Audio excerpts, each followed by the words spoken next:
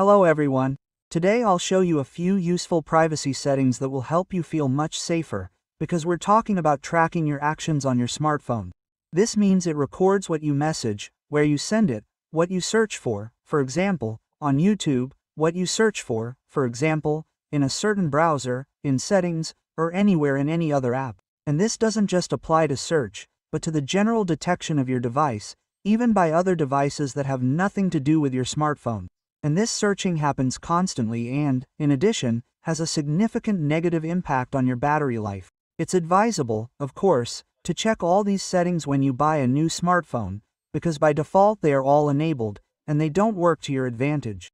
Of course, the only ones who benefit are the manufacturers and developers of certain apps that have enabled all this, because they know your steps, they know what you use, how long you use it, and so on. Of course, all this information is transmitted via mobile data and Wi-Fi to servers. The return message you receive is a ton of ads on your smartphone. And anyway, I don't think anyone would like being tracked. I'll tell you everything now. Be sure to give the video a like, subscribe to the channel, and share with your friends. So, the first setting affects all text typed on your keyboard. I think each of us uses some kind of messenger like Telegram, WhatsApp, Skype, Viber, or some other app where we chat, browse groups, view important information, and so on. Or even simple messages. When we send something to someone, the keyboard appears. For example, I go to Google Play Market, there's a search option. So, I tap on search. And the keyboard immediately appears. Or, I'll simply go to the standard settings, click search, and the keyboard appears at the bottom. This keyboard has its own tracking features, which it's best to disable. First, you need to go to the standard keyboard settings. Let's go there. Then scroll down and find the privacy section. Go there. And here you'll be surprised. Almost all the sliders will be enabled. All these buttons, they'll be enabled. Well, maybe the last one will be disabled, maybe not. You just need to double check. So, the first setting is to automatically send app usage statistics to Google. I'm referring to the keyboard app, the one we type and send text on, or simply use for searching. What exactly will be sent there? Specific words or simply how much time you spend using the keyboard itself. There are no specifics here, but most likely, phrases related to what you search for, for example, in the browser or on YouTube, are also sent. And based on this, you receive similar ads. So, how does it work? For example, if you search for a specific smartphone model in the browser, statistics are sent with the words you entered. For example, I want to buy a Samsung S26 Ultra and you'll be constantly bombarded with these same ads for the same phone. So, to prevent this kind of tracking, we'll turn it off, as it also drains battery life. Next, personalization for you. Improve text and voice input based on Gboard usage data and corrected transcriptions of what you say and the text you type. This will be saved on this device. On the one hand, we're warned that nothing will be sent beyond our device, but remember that we had this slider enabled, which sends all this data. So, if there's permission here, why not send what's written here? So, we'll turn it off too. Next, we'll configure the enhancement settings for you. Help Google improve word and phrase recognition using Gboard usage data on this device. Again, this is a very similar setting that also affects voice input. For example, if you use voice input, well, let's say you don't like typing on the keyboard, but you use voice input, for example, to ask something or find something. Or even some people are used to using audio messages, which are sent just like a regular SMS. So, all of this is saved. And again, it says here that nothing goes anywhere, but again, we allow Google to use this data. Firstly, and secondly, here again, these sliders were enabled, which send exactly this kind of data. So, let's go ahead and turn it off. Well, here's the last setting. It allows sending audio messages and storing them on other Google servers. In other words, all this information will disappear somewhere, far away from you.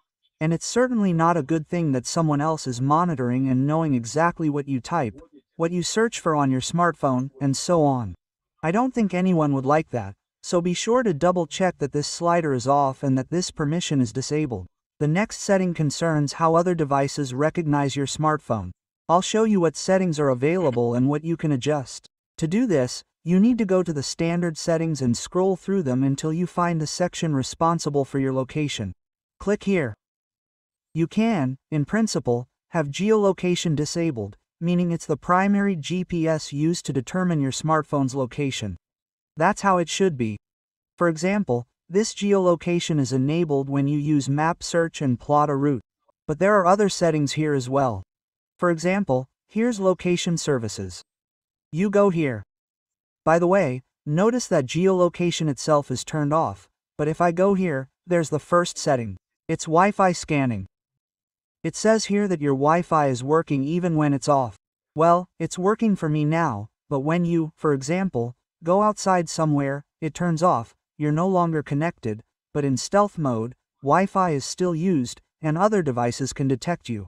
Depending on the smartphone model, there will also be a little circle lit up and spinning, indicating that it's constantly searching. On some models, this was specifically removed so people wouldn't think anything was being scanned. But scanning still happens in stealth mode, and constantly.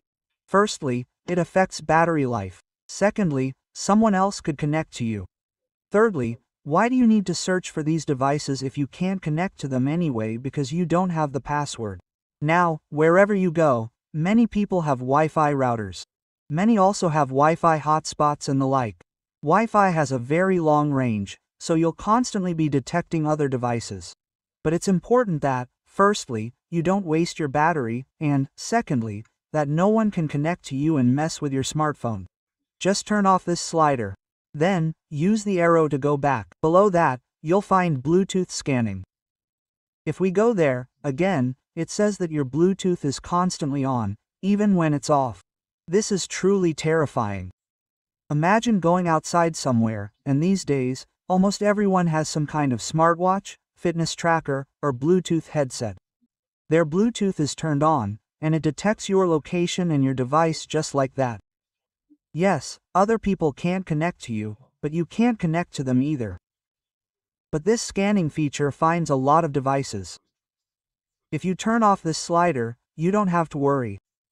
If you use a smartwatch or Bluetooth headphones in the same way, they'll remain paired and work without problems. But this scanning feature will prevent other users from identifying your device and, of course, drain your battery unnecessarily. Be sure to turn off Bluetooth scanning, firstly to avoid draining your battery, and secondly, to prevent hackers from hacking you via Bluetooth or Wi-Fi, you need to turn this off.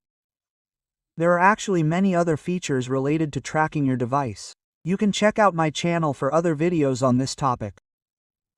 You'll find a lot of useful information that can be applied to any phone.